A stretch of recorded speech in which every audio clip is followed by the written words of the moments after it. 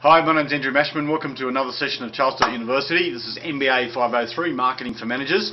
Uh, this is a cool subject because it's all about marketing in the organisational kind of structure, I suppose, and how do you make that work for your business and the organisation, not-for-profit, commercial, whatever it might be, and how that would work for you.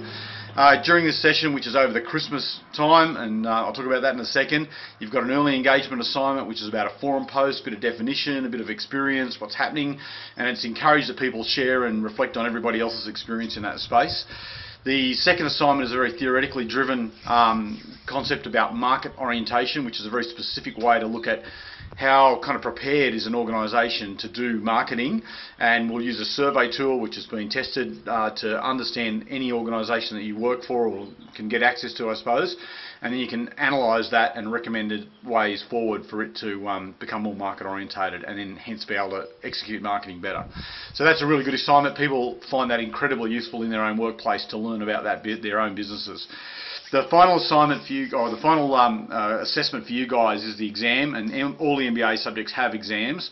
So it's a two-hour exam. It's on market planning, style, marketing, style issues, and we'll give you some more details before that when you get to it. So quick early forum post, uh, theoretical assignment, and then the exam at the end of it, and you're pretty much done for this subject. We'll run some online meetings. We have a lot of stuff going on on the Interact website, including the study guide, which is available in that forum. And importantly, we've got a res school on in Sydney on the 7th of December, and uh, you should get your name down on the list for that. If we don't get 10 starters, it won't happen. But it's a great day. Uh, people travelled in from as far as New Guinea and the USA for these res days, and uh, I'll also try to run a Google Hangout style session to connect in some people who can't make it. But get in the room, meet your peers, especially if you're an early MBA student. It's a great time to get face to face with some people.